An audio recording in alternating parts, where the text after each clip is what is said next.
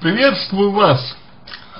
Первое, что мне хотелось бы вам сказать, это то, что поскольку вы уже э, много раз расходились и сходились э, со своей супругой, то э, думаю, что у вас име, имеет э, место быть определенная зависимость от нее. То есть что-то вас э, каждый раз удерживает э, с ней, вас тянет к ней, э, вы привязаны к ней, вы получаете э, ну, какое-то удовлетворение своим желанием, э, когда с ней находитесь. То есть она имеет для вас какое-то значение, вот лично для вас. Вы понимаете, что э, ее поведение переходит все моральные границы. Вы понимаете, что она относится к вам очень плохо. Вы понимаете, что э, человек вас, ну, судя по всему, не ценит, не любит, не уважает, но все равно вы э, с ней сходитесь. Так вот, можно окунуться в новые отношения, можно э, начинать э, строить их с кем-то другим, но э, тогда вы рискуете, во-первых, сравнивать э, другую женщину с вашей бывшей женой, во-вторых, пытаться получить через э, другую новую девушку э, то же, что вы хотели бы получить через э, свою бывшую супругу, а это все, естественно, достаточно порочная э, позиция и порочная модель поведения. Потому что то, в чем, э, в чем вы нуждаетесь, э, э, когда общаетесь, взаимодействуете, сходитесь со своей супругой, вам нужно получить самому. Избавиться от зависимости, стать свободным. И тогда вы освободитесь от своей бывшей жены, поставите, как говорится, вы на ней крест, и будучи свободным и независимым человеком, мужчиной, сможете строить новые отношения. А до тех пор, пока вы этого не сделали, вы все равно, даже э, при наличии у вас другой женщины, вы все равно будете э, возвращаться к своей бывшей жене.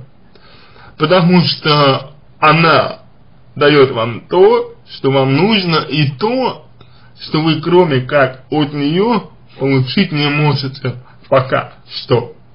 И вот это то, с чем вам нужно в первую очередь работать. То есть избавление от зависимости – это первый шаг. Дальше. А, когда вы а, избавитесь от зависимости и будете э, самодостаточным, независимым мужчиной, свободным, который является полным хозяином самому себе, вы выберете такую женщину, у которой не будет недостатков вашей бывшей жены. И свой опыт, любой, любой опыт, не только положительный, но и негативный опыт общения с вашей бывшей женой, вы перенесете в новые отношения.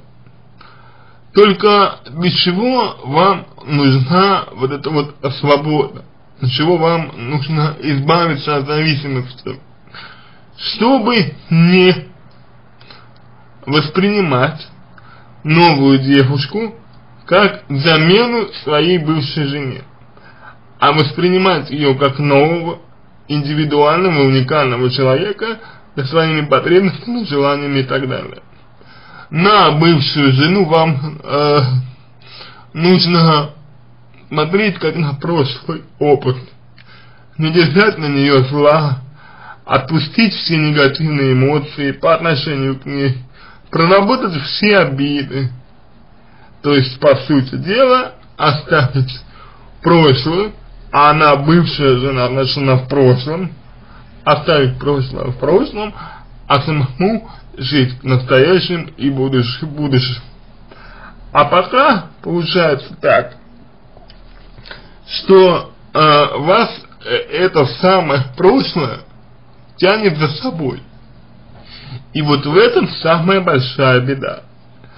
Ведь э, новой девушке придется, по сути дела, бороться с призраком прошлого, то есть вашей бывшей женой.